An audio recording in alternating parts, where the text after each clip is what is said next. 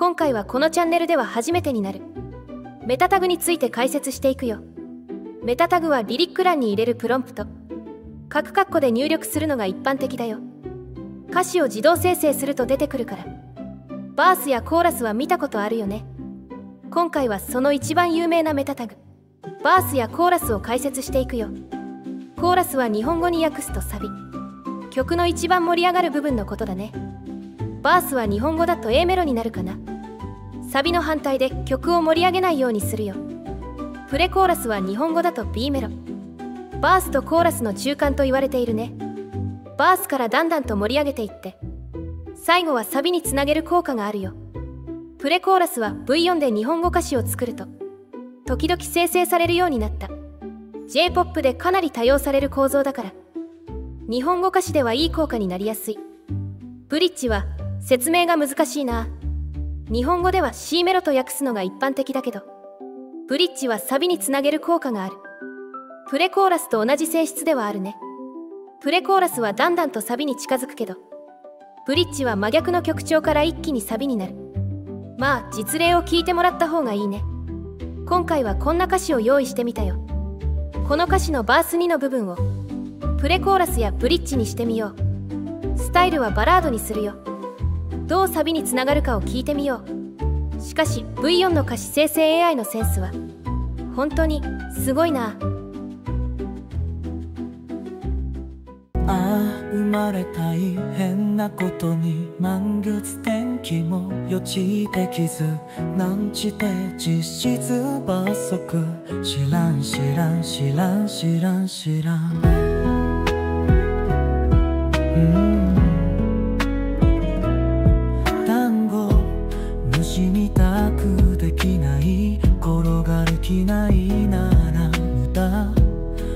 目叩くにもやもや所詮一部コンテンツになれ言い訳できない単語虫の力目叩く感。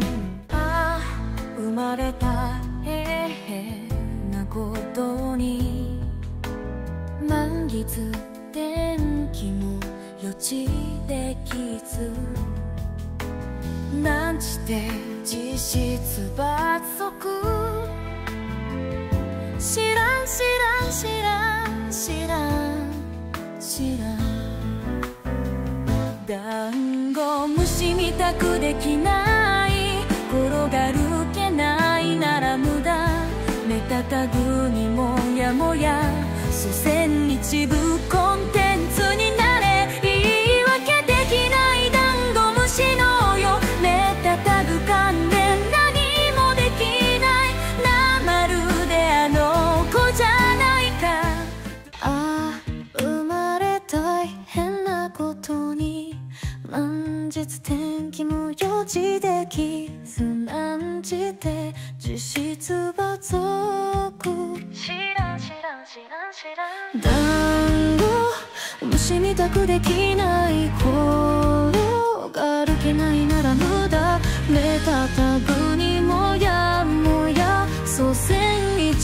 コンテンツになれ言い訳できないダンゴ虫能力目叩く関連何もできないなまるであの子じゃないか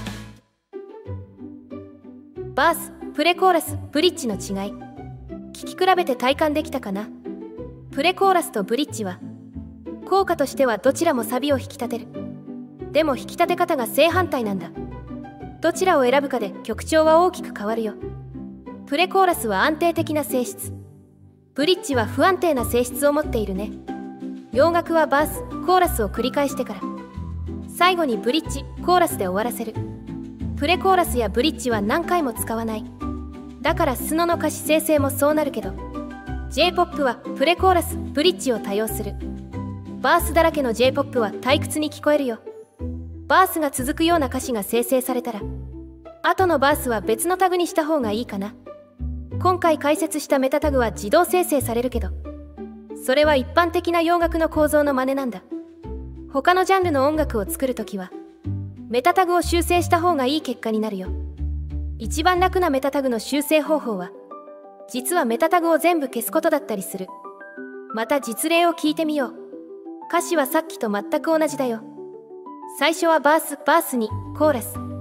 次にこのメタタグを全部消してみる。スタイルはヒップホップブルース。そしてハードスタイルの3種類にするよ。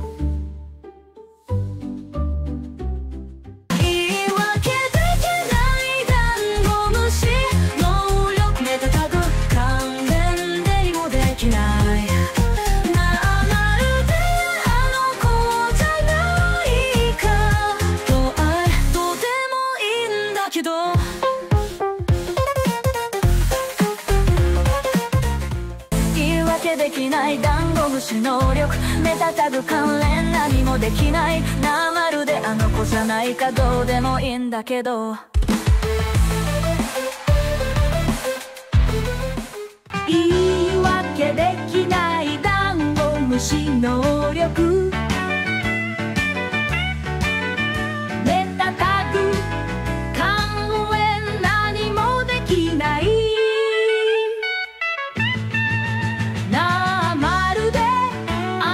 じゃないかどうでもいいんだけど。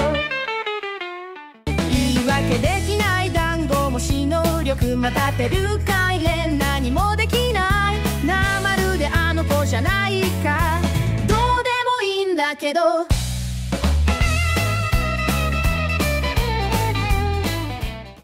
言い訳できない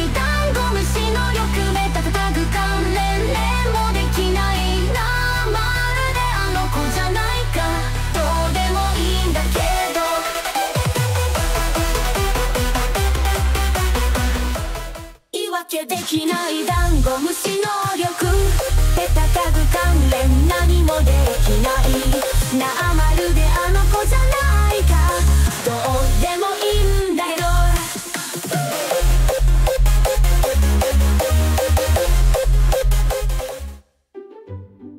自動生成されたメタタグをそのままにすると厄介な影響があることを聞いてもらったよ。日本語のコーラスは J-POP のサビを作る。それがスタイルの曲調を変えてしまうんだ。J-POP に変えるのは悪いことじゃない。歌として聴きやすくなるってことだからね。でも J-POP と相性の悪いジャンルだとコーラスがかなり強く曲を邪魔してしまう。メタタグを消さないと効果が出ない。そんなスタイルさえ存在するんだ。